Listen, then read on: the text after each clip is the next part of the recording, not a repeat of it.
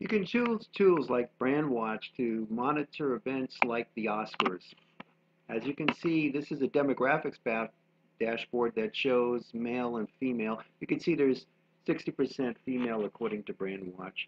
This is not geolocated, uh, but can be made to be somewhat geolocated. And what you'll notice here is that uh, they BrandWatch has made an attempt to understand that there's 13% of the audience that's interested in music, um, and a little less, strangely enough, in movies than sports, even though this is the. You can hone in a little bit more and see, for example, who is speaking about uh, various things, but male or female, and the top authors that they have that are male and female. Hopefully, uh, it looks like they've got all the right gender here and all the right gender here. And you can export these lists, and this could be ideation lists for um, contact if you prune those lists and put them into a database. You can also um, you can also go more deeply and look at the interests of what the people are saying between business and technology. You can change these interests by with filters. For example, you can take these interests that they have selected and change them um, to be other interests that they that they have also have in their system.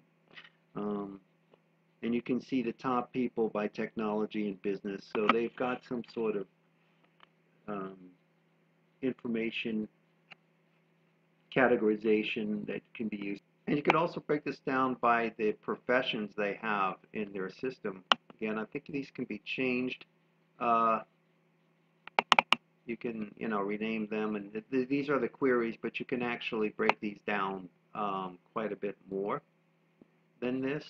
And these are, again, exportable. You can also look at these lists by location, although the location's not going to be nearly as accurate as Geofeedia at a local place.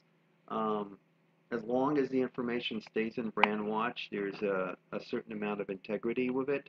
Um, you might, if you want something more uh, solid, you may need, um, from the standpoint of people who are actually at an event or really are where you think they are, you may need to go a little further. But these can be um, and these are all the mentions, and I've actually got of my allotment for the month I've used if I keep this profile.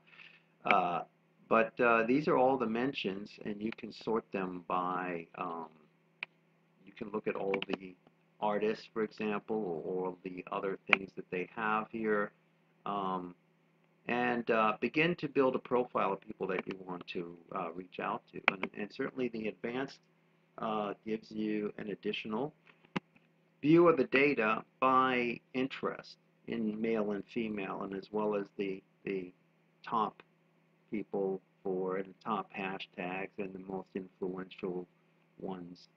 You know, a lot of these, the smiley face and the top emoticons um, uh, for males and females, these might be interesting to a media planner uh, they could also be interesting to a person who is trying to outreach a bunch of people to see your video, depending they know what they're looking for.